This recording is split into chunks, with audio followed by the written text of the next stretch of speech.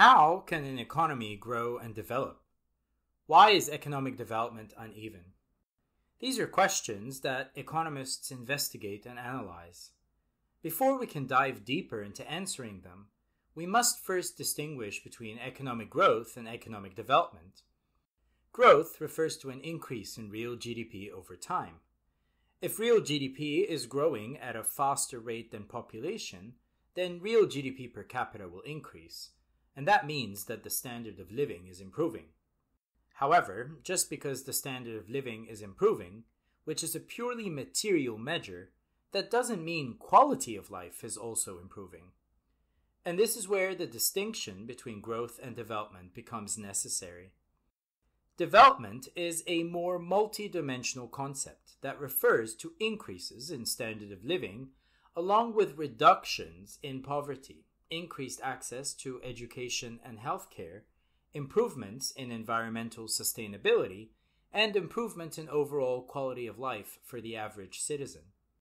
Economic growth and standard of living are very one dimensional concepts that are more focused on material measures and thus very quantitative in nature, while economic development and quality of life are more multi-dimensional and qualitative in nature.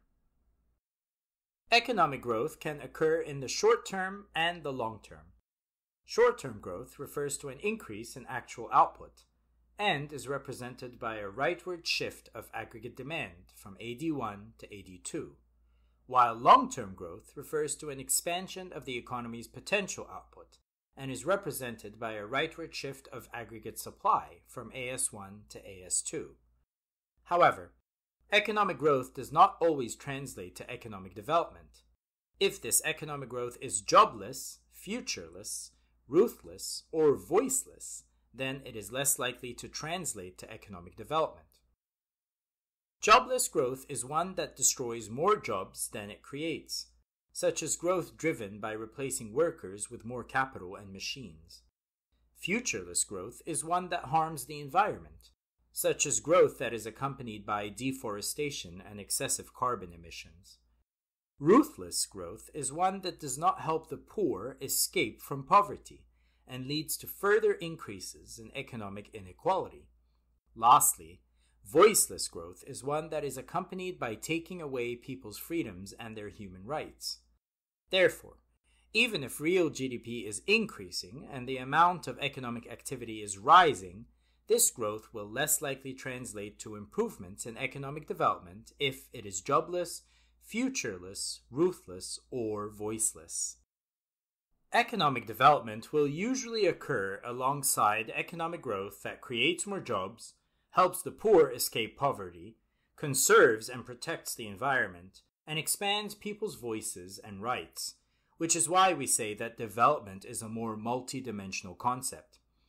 A good diagram to illustrate economic development is the poverty cycle. Poverty is the condition of having a low income, which then leads to low savings and investment in all forms of capital human capital, physical capital, and natural capital. Low levels of capital then translate to low levels of productivity, which leads to low incomes, trapping the poor in the condition of poverty and continuing the cycle. There are many barriers to growth and development, and strategies to overcome those barriers and eventually help poor individuals or poor societies escape the poverty cycle. The barriers to growth and development are usually a combination of economic, social, and political barriers. It's important to remember that there is a diverse mix of barriers for a diverse number of less economically developed countries, LEDCs, as well as more economically developed countries, MEDCs. The economic barriers that trap countries in poverty due to low savings and low levels of capital are rising income inequality, capital flight, and lack of access to infrastructure, healthcare, education, and appropriate technology. It's usually the middle class in any country that saves the most while the rich spend a lot of their money on luxuries or send their savings abroad to offshore tax havens, also known as capital flight. Also, low levels of human capital due to lacking access to healthcare and education, as well as insufficient infrastructure, will all lower the levels of productivity of the FOPs and thereby perpetuate the poverty cycle. The economic barriers that trap a country or community in low levels of income are lack of access to international markets, possibly due to geography, or trade barriers enacted by trade partners, which increases the costs of producing and transporting exports and erodes the revenue gained from selling those exports on the global market. Other economic barriers that perpetuate the poverty cycle are having a large informal economy that is unregulated and untaxed, a high level of indebtedness, over specialization in the production of primary products like oil or agricultural products, as well as tropical climates and endemic diseases. Moreover, there are social and political barriers to growth and development, like gender inequality, a lack of good governance, and high levels of corruption, as well as unequal political power and status, all of which trap the country in the low levels of capital part of the poverty cycle. This is because when women's well being is suppressed or deprioritized, it also affects the healthcare and education of their children and so leads to lower levels of human capital for future generations. And high levels of corruption deter savers and investors, again contributing to low levels of financial and physical capital. In addition, weak legal and banking systems and ineffective taxation structures will lower the availability of funds needed for investment in pro development projects Many LEDCs also suffer from having weak property rights that deter investors who fear losing their investments. Since LEDCs can face a variety of these economic, social, and political barriers to growth and development, governments need to craft a variety or a mix of strategies to overcome these barriers and help their respective countries achieve higher levels of growth and development. There are many strategies to overcome the barriers to growth and development. Some are more growth focused and some are more development focused.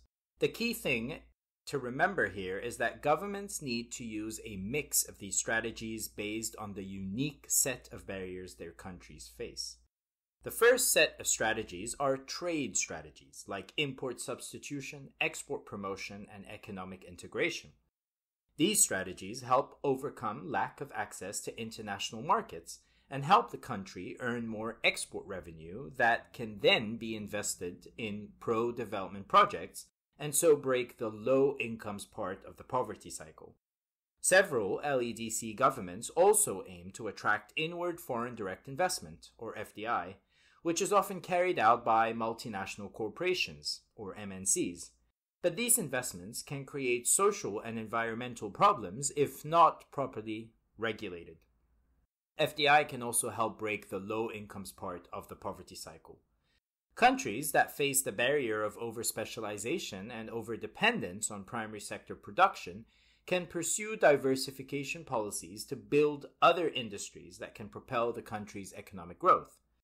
Governments also use market based supply side policies like trade liberalization, deregulation, and privatization to increase investor confidence and so lead to more private sector investment, though these policies can sometimes worsen income inequality. Interventionist policies are better at addressing income inequality, but they are costly.